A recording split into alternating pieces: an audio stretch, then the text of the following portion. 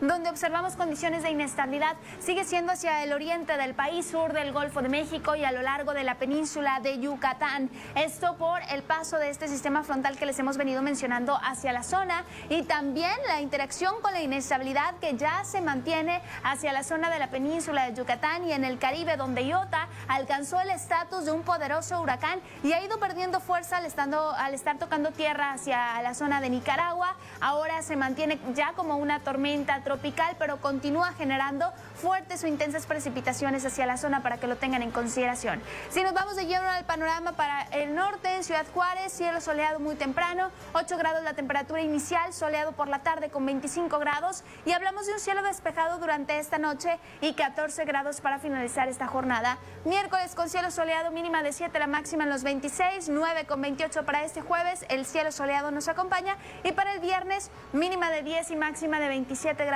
también condiciones de cielo soleado. En Chihuahua, un ambiente frío se ha registrado en las primeras horas.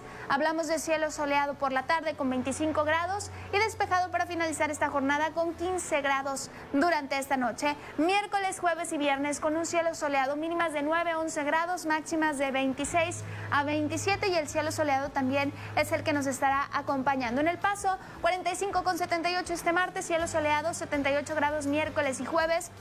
Incluso el jueves máxima de 82 y el cielo soleado continúa predominando y haciendo de las suyas. Prácticamente en todo Chihuahua durante este martes, cielo soleado, ambiente frío en las primeras horas, 5 7 grados la temperatura mínima máximas que llegan hasta los 26 durante esta jornada. En la información meteorológica, pero antes de despedirme, te invitamos a